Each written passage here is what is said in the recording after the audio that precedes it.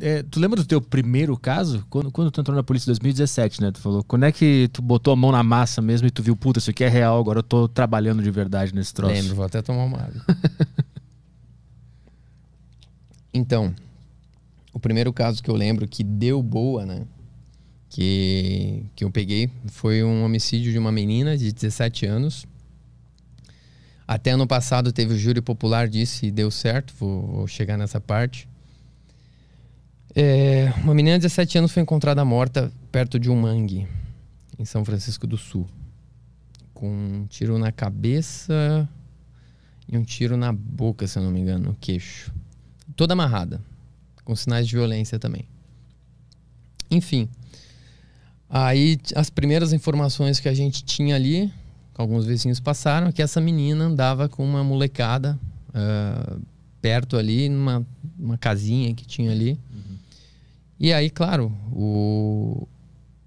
pegamos nessa casinha uns, mate... uns materiais que tinham lá, uns documentos que tinham lá, tinha um caderno de colégio, tinha até documento mesmo, um RG, enfim, de, um... de uma gurizada lá, uhum. que não eram da cidade. Mas estava lá o nome deles e tal, tal, tal. Porque o que eu acho que aconteceu? Eles fizeram o crime e vazaram. Fecharam a casa, trancaram a casa, mas uns vizinhos relataram que, que aquela casa ela estava, então Entramos na casa, pegamos o, esses, esses documentos e já vimos alguns nomes. Eram de outra cidade. Uhum. Só para saber quanto tempo de polícia tu tinha nessa, nessa, Eu tinha de trabalho efetivo cinco meses. Tá. Cinco meses de polícia, assim, foi. É que eu tô contando o primeiro homicídio que deu, a gente conseguiu achar a autoria, né? Uhum, uhum. Então, a gente viu que era de outra cidade e pensei, opa, tem coisa aí. Temos, temos aí um, o, mais ou menos por onde seguir, né? Mas até então a gente não sabia a identidade da morta. Porque estava sem documento, sem nada, a gente não conhecia. esperamos ali o, IML. Acontece muito, a gente vai num local de crime, não tem identidade, nada, tem que saber quem que é. Uhum. Vai pro IML, fazem a perícia, pegam as digitais lá, enfim. Mas tu viu o corpo? Sim, sim. Como, isso que eu quero entender. Como é que é? Tu acabou de entrar cinco meses na polícia e tu vê um, um corpo com violência. Como é que isso bate na tua cabeça psicologicamente? Tranquilo. É? Antes de eu entrar, te confesso que eu, eu sempre pensei comigo, vai ser foda. Vai ser foda ver um, ver um corpo, ver alguém morto. Até na academia de polícia, é, eles passam algumas fotos, né, de, de coisa, e por foto tu fica meio assim de olhar, mas eu não sei o que acontece. Que na hora que é o teu trabalho ali, uhum.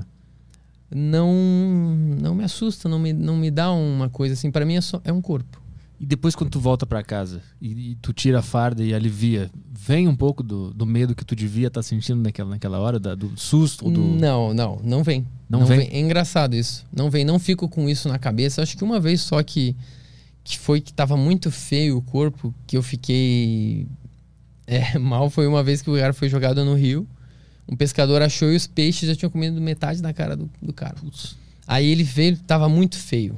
Sim, muito uhum. feio. Tipo, ali me deu meio.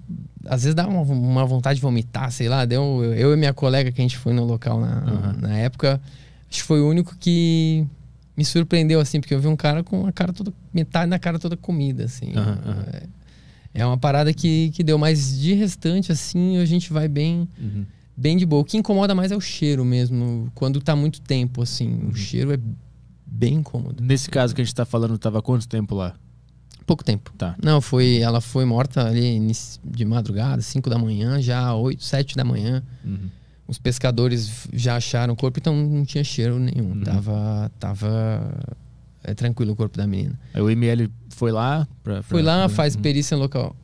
Como é que funciona? Vai o, a gente aciona a perícia de local de crime, vai os peritos lá analisarem o local, ver se pega algum elemento, às vezes pega um objeto que tenha um, uma impressão digital, alguma coisa do tipo. Uhum. É, e depois e também vai o IML para recolher o corpo, né?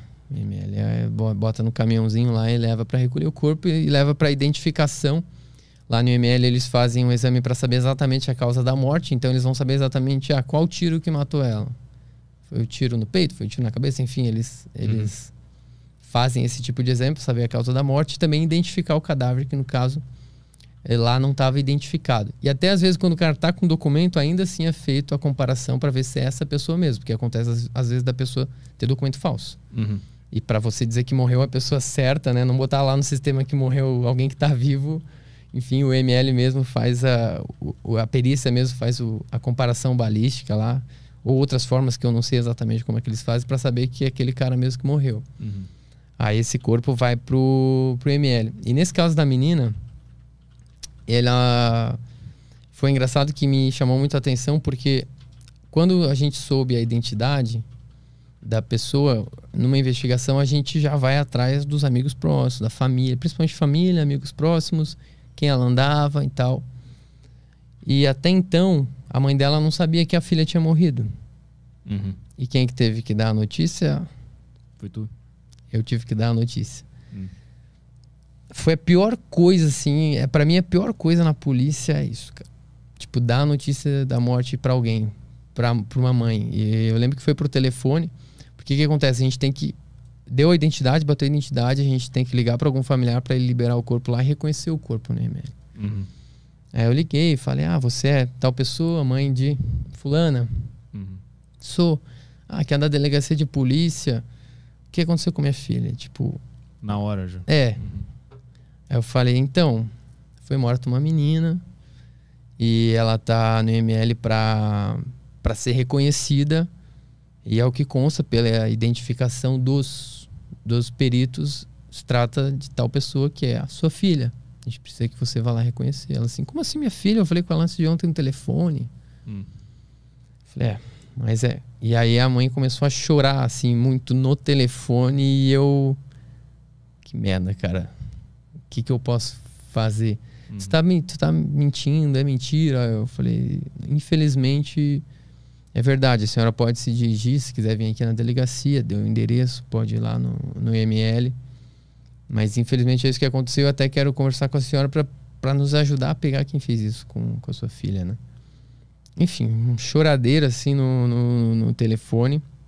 Me senti pesado aquele dia de dar essa notícia. Primeira vez em alguns meses de polícia ter que dar a notícia de morte para uma mãe de uma filha e tu sentir na voz dela o desespero, assim, de não estar acreditando o que aconteceu. E aí, enfim, desligamos o telefone. Depois ela ligou de novo na delegacia. Ela deve ter procurado no Google, né? O Uhum. telefone da delegacia para ligar lá para ver se era verdade mesmo. Ah, Sim. Uhum. o, o policial Cauã tá aí. Sim, tá aí. Daí ela viu que era, era verdade mesmo, enfim. Depois ela foi lá na delegacia. E lá também comigo também chorou, né? É, ela, a gente pegou o depoimento da, da mãe lá, chorou, pediu pra, pra descobrir o que, que fizeram com a filha dela. Isso aí dá uma, dá uma quebrada, assim, na gente de tipo, pô, vamos ter que, que ir atrás. É, Essa parte é mais difícil do que ver uma pessoa morta. Muito mais. É o que bate, é o que desestabiliza emocionalmente. Essa parte é mais perigosa emocionalmente falando.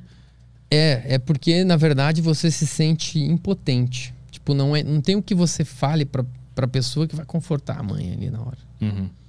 Então você só vi- olha o sofrimento da pessoa e você não tem muito o que fazer. Você só tem que aceitar que ela tá sofrendo e o, seu, seu papel ali é pelo menos dar uma resposta para essa mãe, dela descobrir o que aconteceu com a filha. Uhum.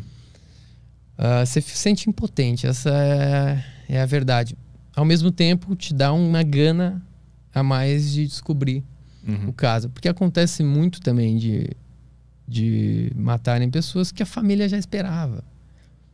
Já tá no mundo do crime há muito tempo, ou já é viciado, né? Muito tempo, tem relação com o traficante, fica devendo, enfim. Uhum. A família meio que já espera, assim. E, e nem faz muita questão que, de ajudar a descobrir. Uhum. Até porque eles ainda têm medo, assim, do que pode acontecer. Uhum.